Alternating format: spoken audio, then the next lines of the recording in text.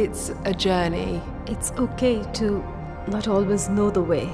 And whenever I worried that I'd be alone, I found that I wasn't. And what I've realised is that it could be any of us. That makes a difference in a child's life.